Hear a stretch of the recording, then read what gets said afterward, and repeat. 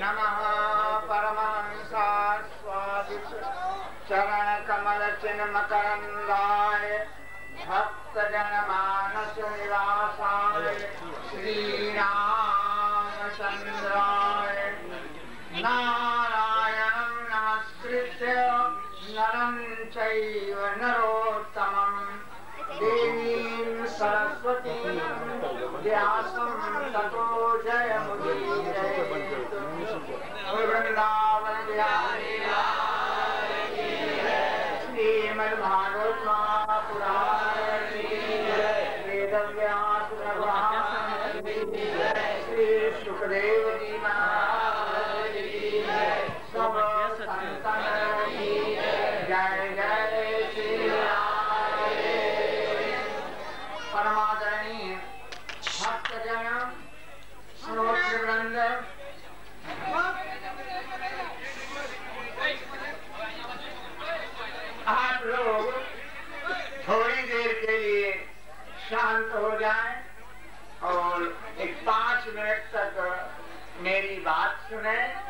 उसके बाद मध्यान्ह काल का विश्राम करें और उसके बाद चार बजे से फिर इस मंडप में आ जाएँ और कथा का श्रवण करें। यही ना? हाजी हाजी। देखो श्रीमद भागवत महापुराण सुनने का क्या फल है ये तो रहने दो। जो कोई सुनने की इच्छा करता है प्रेम पूर्वक प्रबल प्रबल उत्कट अभिलाषा सुनने की जिसके मन में इच्छा होती है, उसके हृदय में भगवान आकर के विराजमान हो जाते हैं। समान विधत्ते गुणानुवाद श्रवण मुरारे। भगवान श्री कथा सब प्रकार के मनोरथों को पूर्ण करने वाली है, सब प्रकार के पापों का नाश करने वाली है। बहुत बड़े बड़े अनुष्ठान किए जाएँ तीर्थ यात्रा की जाए, सब कुछ किया जाए, लेकिन उसके करने से यदि भगवान की कथा में प्रेम नहीं हुआ तो सब कुछ बेकार है।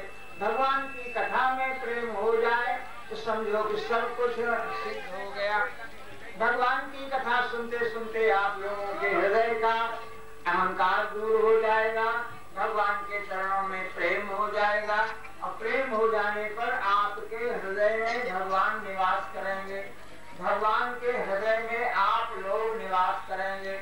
प्रेम का फल अनिर्वचनीय है।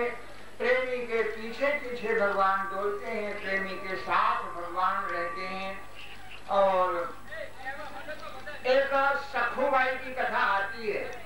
महाराष्ट्र की एक सखुबाई थी। बड़ी भारी भगवान की भक्ता थी, लेकिन उसकी सास बड़ी कर्कशा, ननद बड़ी लड़ने वाली और उसका पति नास्तिक। इसलिए बड़ा भारी उसको कष्ट था। बारकरी यात्रा आषाढ़ शुक्ल एकादशी की हो रही थी। झुंड के झुंड पंडरीनाथ का दर्शन करने के लिए लोग जा रहे थे। सखोबाई के मन में हुआ कि मैं भी भगवान का दर्शन करूँ। दर्शन के प्रेम से उससे रहा नहीं गया। और सब कुछ पानी भरने गई थी। घरे को कुएँ पर छोड़ करके और उस दल में शामिल हो गई। पंडरपुर को चलने लग गई। किसी ने जा करके कह दिया कि तुम्हारी बहू तो पंडरपुर को जा रही है। मैया ने लड़के को डांटा, लड़के ने आकर के सखुबाई को पकड़ा और मारते मारते मारते मारते घर को ले आया। देखा कि अब क्या करें, कहीं फिर न भाग जाए, इसलिए उसको एक खंभे से कस करके रस्सी से बाँध दिया। कई दिन बंधे बीत गए, समय से भोजन और पानी भी उसको नहीं मिलता था। लेकिन सखू निरंतर भगवान का स्मरण करती थी इसलिए भगवान ने उसके मनोरथ को पूर्ण करने के वास्ते जब रात को सब सोए थे तो सखू का ही रूप धारण करके आई। और बोली, देख, मैं तेरी सखी हूँ और हम तुम पहले चंद्रभागा के नदी के तट पर कभी मिली थी। आज तुम्हारी हालत देख करके मुझसे रही नहीं, रहा नहीं जा रहा है। इसलिए मैं तुमको खोल देता हूँ, अपनी जगह पर तुम हमको बाँध दो।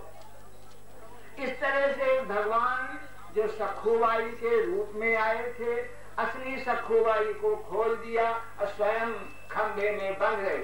सखुबाई पंडरपुर को दर्शन करने चली गई। दर्शन करके प्रेम में निमग्न हो गई और प्रेम पूर्वक दर्शन किया। कीर्तन करते करते पंडरपुर के भगवान के मंदिर के सामने अपने शरीर को छोड़ दिया। भगवान के धाम को चली गई। गाँव का एक आदमी वहाँ मौजूद था। उसने देखा या तो हमारे गाँव की बधू है। चंद्रभागा नदी के तट पर उसका अग्नि संस्कार कर दिया और घर में आकर के अब यहाँ इधर भगवान के बंधे बंधे कई दिन हो गए थे। तो घर वालों ने उसको छोड़ दिया। छोड़ देने के बाद अब तो यह भगवान थे, सखुबाई के रूप से भगवान थे।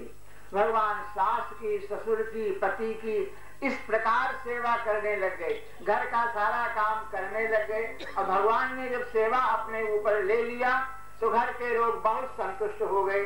सबकी नास्तिकता दूर हो गई, सबके मन में प्रेम आ गया।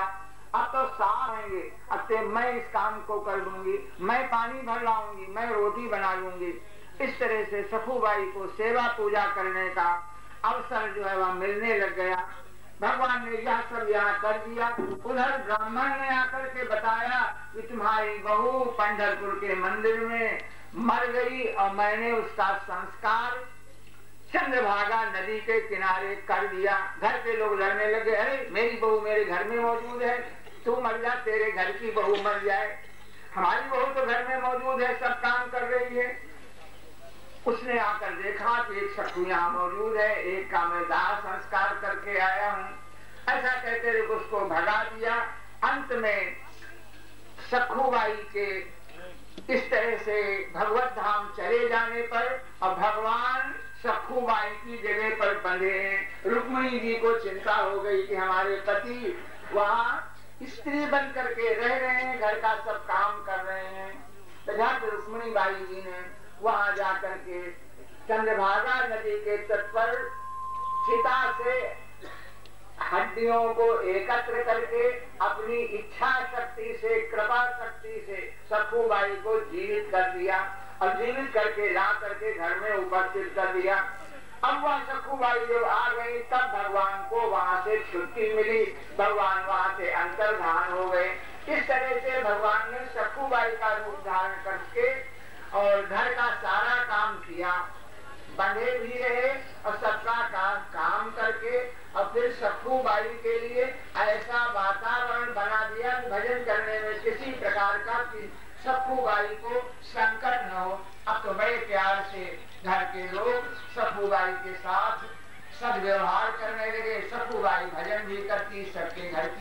भर की सबकी सेवा भी करती।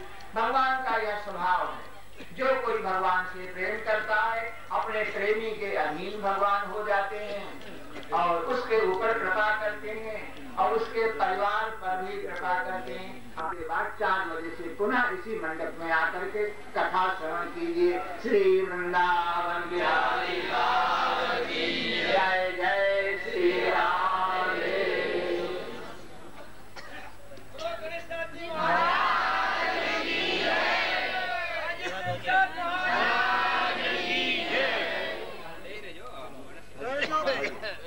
ગાડી આવી ગઈ ગાડી જેવી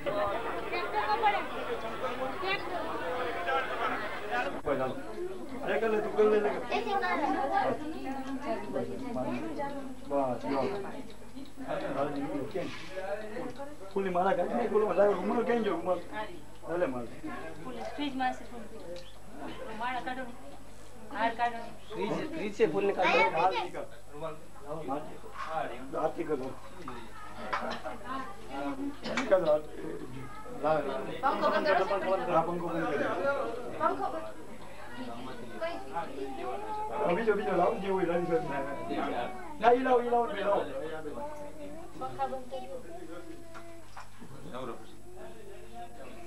बोलो परम पूज्य Shri Ganesh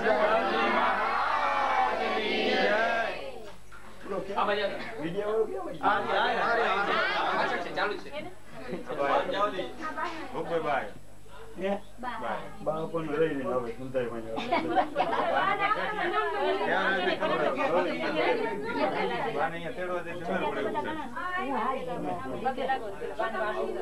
Hello. Yeah, I think they're going to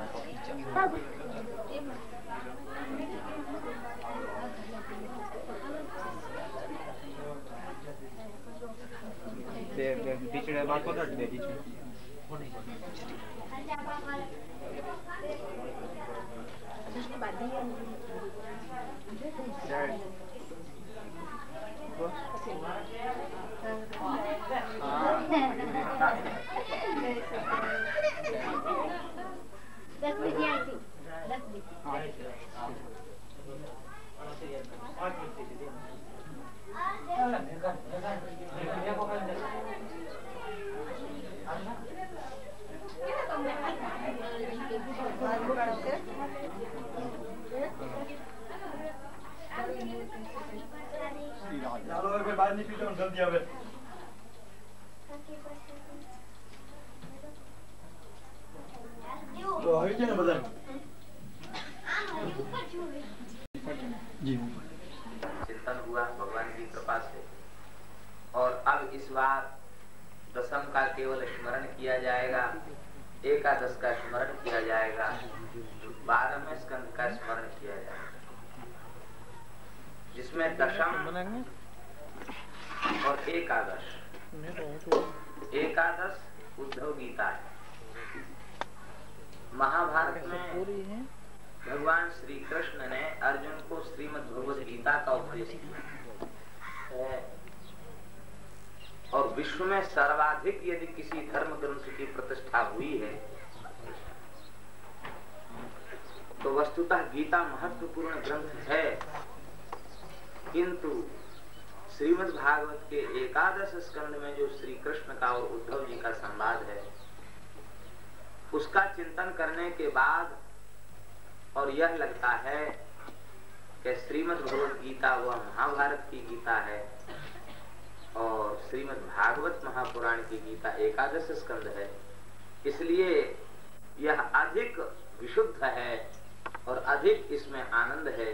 अधिकाधिक भागवत धर्म का, भक्ति का पोषण है। तो भागवत के अनुरूप जो ज्ञान है, भागवत के अनुरूप जो वैराग्य है और भागवत के अनुरूप जो प्रेम तत्व भक्ति तत्व है उसका निरूपण एकादश स्कंद में हुआ है। परिस्थितियाँ भी भिन्न भिन्न है। अर्जुन को भगवान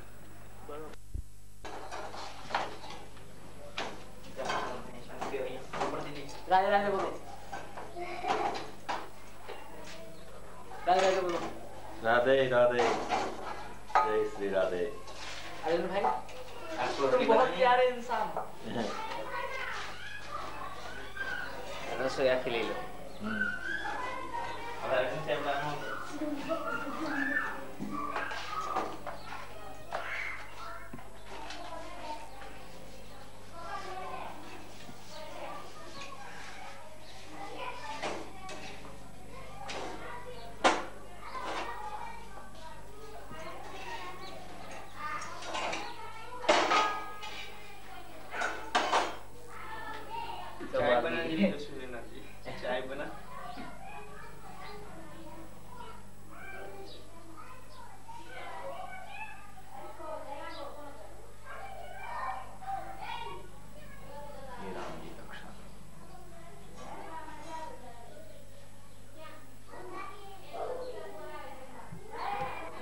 मुख दिखाते रहो ऊपर नीचे मत झुकाओ ऐसे रहो, ऊपर रहो ऐसे। हाँ। रहो। ये फ़ोटो तो उसमें दिखता है महाराज जी वीडियो में। ऐसे निकल के नहीं आता। टीवी के सामने से तस्वीर खिंचाई जाती है महाराज जी तो आ जाती स्टील कर स्टील चित्र करके स्थिर करके हाँ। वो तस्वीर आ जाती। है आ जाती है? हाँ। थोड़ी सी राम राम राम राम तो महाराज जी बोलते हैं सिर उठाओ नहीं तो कैसे सब दिखेगा? पता नहीं चलेगा। कौन है? कौन है कौन नहीं है?